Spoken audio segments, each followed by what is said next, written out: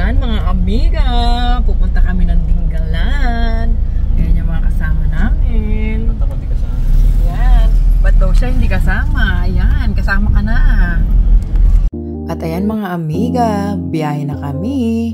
Nakikita niyo po ba yung mga buntok-buntok na yon? Yun po ang aming tatawirin mga amiga. At ayan, ang ganda-ganda po ng lugar na aming nilalakbay. Tingnan niyo mga amiga. Alam niyo ba mga amiga sa pupuntahan namin?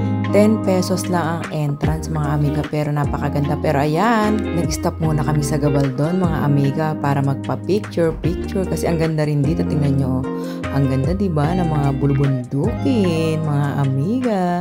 Ayan, picture-picture muna kami. Kami muna nila mother, sinama ko po si mother at ang aking pamakin na si Dre, si Yuri. At ayan, Pamaya-maya diretso na kami. Si Ron hindi nagpahuli at ayan may mga dito na ng sibuyas. Sibuyas nga karaniwang tanim nila dito mga amiga. At ayan mga amiga, diretso ulit tayo sa pagbibiyahe papuntang Lipit, Ibona. Ayan mga amiga, ang mga kasama ko. Yung isang kasama ko sa likod, mahihiluhin si Mudra Bells. Ito naman ang isang batang mainipin. Ang tagal-tagal daw, ang haba-haba ng biyahe. Pero ayan, malapit na kami. Excited na ang mga bata, mga amiga. Ayan mga amiga, may entrance na 10 pesos sa pupuntahan natin para po sa kalinisan ng ating pupuntahan. Pag may maintenance daw po ng kalinisan, yan, murang-mura 10 pesos lang po yung entrance.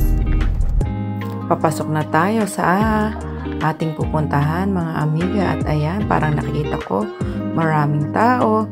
Madami din po palang pumupunta rito mga amiga. Kala ko konti lang. Ayan madaming tao. At ayan po andito na po tayo sa loob. At ayan naligo na kagad si Yuan mga amiga. At si Dre napakalinis po ng tubig dito. Tingnan niyo po ang linaw-linaw. Tapos diretso po ang agos Pati ang baby namin kasama, nagbabasa na ng paa mga amiga. Ang ganda po dito, pwede po dito mag-overnight mga amiga. Kami po ay nag-overnight dito, dito po kami natulog. At ayan, sobrang linis ng tubig.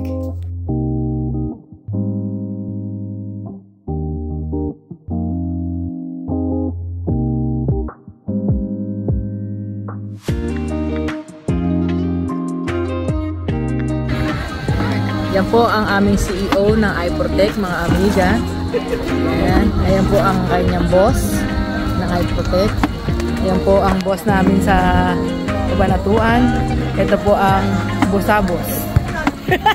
Busabos. Tuyuan, ayon.